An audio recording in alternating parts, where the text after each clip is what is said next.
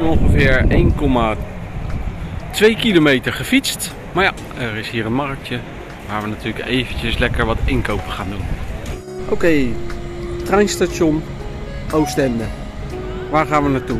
Parijs of De Pannen? Uh, ik weet het niet.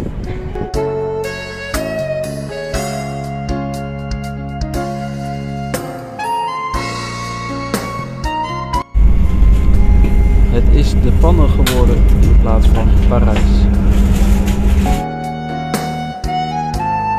Als koningin Astrid maakt een rondrit door Oostende. Oostende renbaan. Naar de Oostende renbaan.